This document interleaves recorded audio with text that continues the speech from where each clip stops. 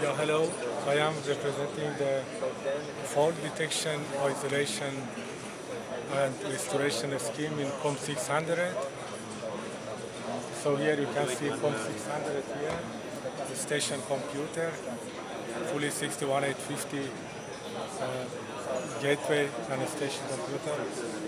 And here you can see all the switchgear devices, they are connected using IEC 61850 protocol to uh, COM 600.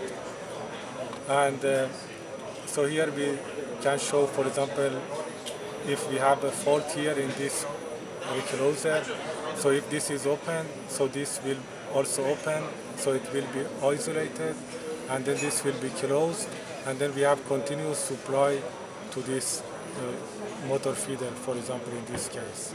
So we can now do, do it in. So I open.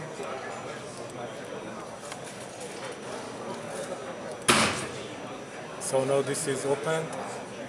So you can see that this is open, fault isolated, and then restored.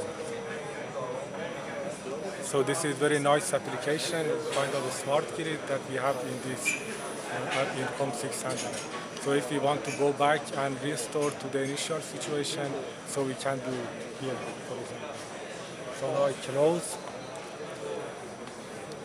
I close. So you hear the sound.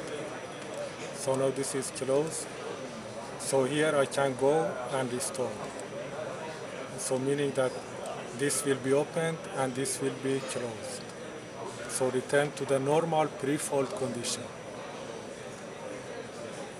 So this is real application, so you can see it is not any demo.